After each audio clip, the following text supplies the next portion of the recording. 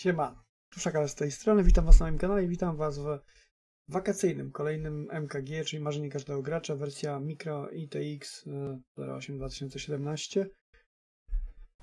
I e, tutaj taki zestawik był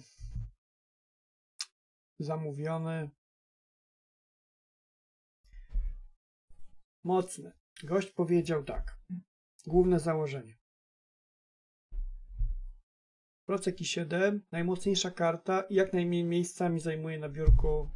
Może być do góry, ale na płasko może być jak, ma być jak najmniej. Nie zrobiłem mu na szpilce.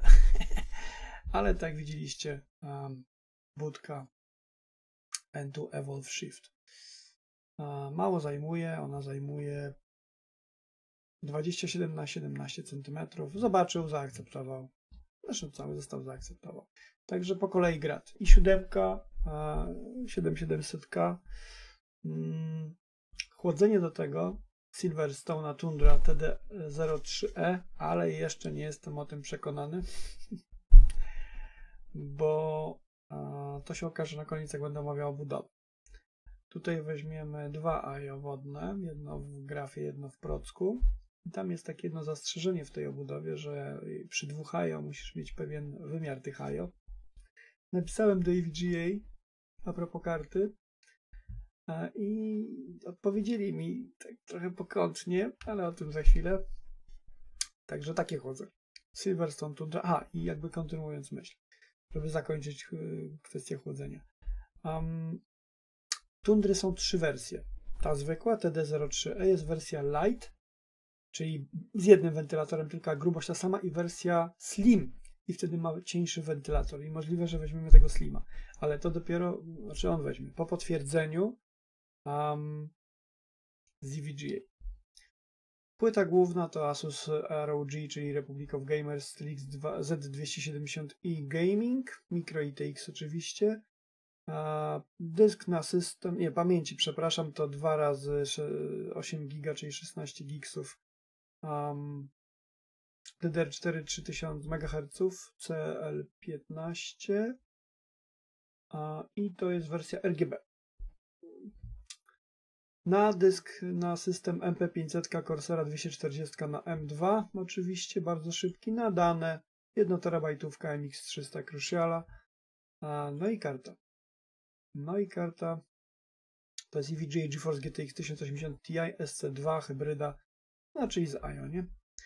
I teraz e, pytanie do EVG było takie: e, jaka jest grubość tego radiatora? Bo nigdzie nie znalazłem. W manualach, w opisach na różnych stronach różnojęzycznych szukałem, grzebałem, nie znalazłem. Gość mi odpisał z europejskiego oddziału serwisowego, że. A, bo dodałem dwa pytania. Jedna taka, jaka jest grubość, a druga pokazałem mu linka do koszyka w sklepie, pokazałem, powiedziałem mu, że chcę użyć tundry w tej, w tej, w tej obudowie. E, I drugie pytanie było, czy się zmieści? Powiedział, nie mam tych gratów, gościu, nie wiem. A ja, e, dobra, to zapytasz dalej? O, no, zapytam, dobra, to czekam na odpowiedź. No i tak się na razie zatrzymało. Ewentualnie będziemy tą tundrę wymieniać na cieńszą, gdyby się to nie zmieściło, nie? No. E, zasilacz to Silverstone SFX Series SX600G. E, malu, maluszek 600 watów, spoko wystarczy. No i Fantex obudowa. I Fantex obudowa, tutaj mamy tą obudowę. Oczywiście wersja czarna, nie tam jakaś taka ten, tego, ten. Ona ma tu szybkę, więc coś tam będzie błyskało. E, można ją oczywiście też położyć, nie ma problemu. E, zaraz wam pokażę, jak to wygląda. Tutaj sobie stoją jakieś dziewczyny architektki, ta sobie coś rysuje. O, tutaj leży. Szybą do góry, także nawet nieźle. Um, Multiple Orientations, czyli w różne strony można ją położyć. 360 stopni, dostępność 360 stopni, czyli praktycznie z każdej strony, tu też możesz otworzyć, z każdej strony można się do niej dobrać. No i naprawdę pomysł jest niezły. No. I TX-owa płytka, cable management są tutaj pod tą klapką, ta klapka się tak otwiera. E, wyposażony w jeden 140 e, mm e, wentyl Fantexa, premium wentyl, aluminium panels. No i Clean Cable Management. No, spolemizował. Widziałem parę buildów i tak ci, co je robili, to tak nie za bardzo robili Clean Cable Management. no ale generalnie poza obudową, tutaj e, pod tą klapką jest część kabli, a tutaj z tyłu idą. Także jak tutaj wyjście z zasilacza, z grafiki i tak dalej, to idzie sobie tutaj i wychodzi tu otworkiem. Nie? Tutaj gdzieś ten otworek widać? O, tu chyba. To jest tył i tu jest z góry też otworek i tu jest z dołu otworek. Takie wycięcie i tędy mogą być kable. No, także tak. Full size GPU support. No i tak właśnie widziałem, że ten full size GPU support jest fajnie, e, tylko no mam nadzieję, że tu się to zmieści. Chociaż narysowany, zaraz wam pokażę, narysowany że się mieści.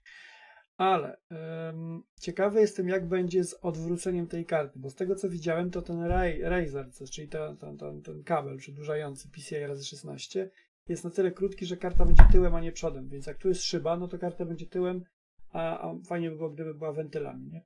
No to jak on nie będzie wentyli, ale będzie napis, to jedna, jedna ten wentyl i tak dalej.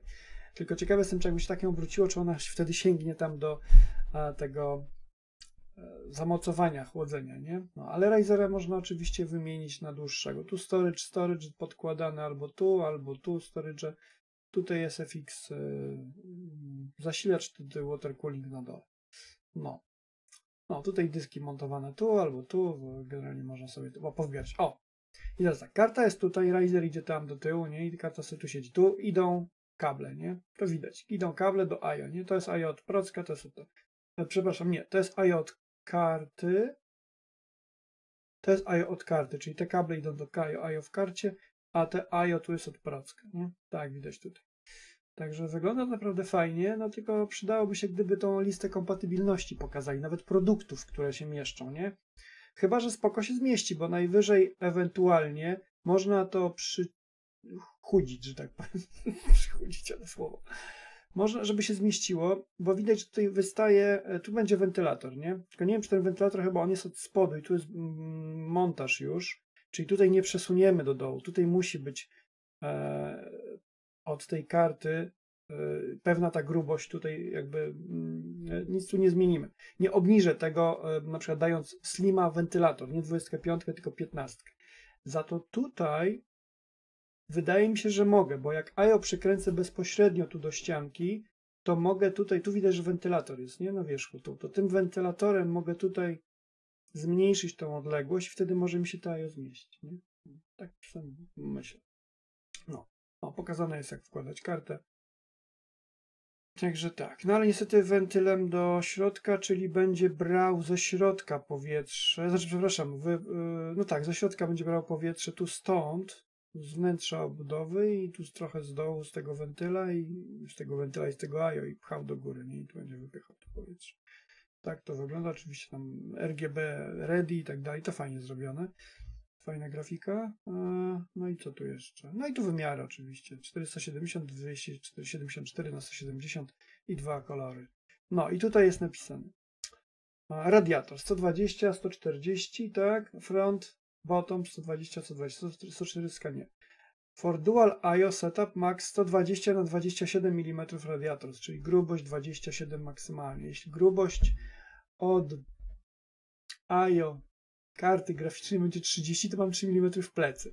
Jeśli mam 3 mm w plecy, w plecy, to może uda się dołożyć do, albo kupić Slima i y, wentylator y, Slima, 15 i tego, albo do tego dołożyć 15 wentylator. Nie? Najwyżej, gdyby się nie udało, to się odda to, a i kupi się drugie i tyle tam mamy ileś dni na zwrot, więc, ale spróbujemy, jak będę składał oczywiście.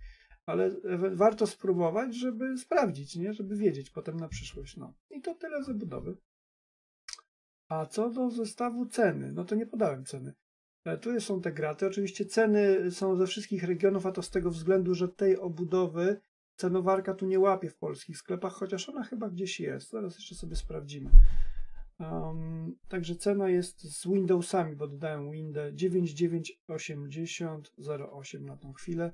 Oczywiście kupowana gdzieś tam w różnych niemieckich sklepach. Jak przełożę to na polski tylko, no to Buda się wyłączy z cennika i wtedy będzie cena taka trochę słaba. Oczywiście praktycznie będzie ta sama cena przy polskich cenach, tylko bez obudowy. Więc wiecie już jaka różnica w cenie. Cena obudowy 470 zł. To słabo. Słabo nie jest. No, także tak wygląda zestaw. Mam nadzieję, że się podobał. Myślę, że jest ciekawy. Gdyby mi się udało go składać, to, to byłoby fajne wyzwanie. E, no, oczywiście co? Jak chcesz takie, takie czy inne MKG, pisz na maila. Zawsze w opisie jest podany mail. E, Jak masz jakieś pytania do mnie inne niż o ten zestaw, pisz na maila. Jeśli masz jakieś pytania dotyczące tego zestawu, pisz pod tym materiałem w komentarzach. Jeśli chcesz dołączyć do grupy na Facebooku, pamiętaj, że to jest zamknięta grupa i Twoje wymagania, no tu jest regulamin, nie będę go teraz pokazywał. Twoje wymaganie jest takie, że masz mieć grafikę tu swoją jakąś, no oka mi akurat pokazany, może siebie pokażę. Ja siebie tam nie pokażę, o tu mogę pokazać. No, masz mieć gębkę. Jak nie masz gębki albo nie chcesz tej gębki, to opcja jest jeszcze taka, że możesz mi mm, podesłać na priwa swoją gębkę, nie? Tak cię zautoryzuję dodatkowo, ale to taki ostatnio dodałem. Hincik. Usprawnienie. No. No i na grupce sobie oczywiście gadamy jakieś tam bzdurki.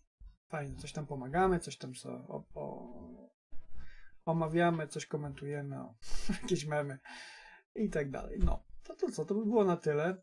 Dzięki za uwagę i trzymajcie się, cześć, do następnego razu. Pa, check out.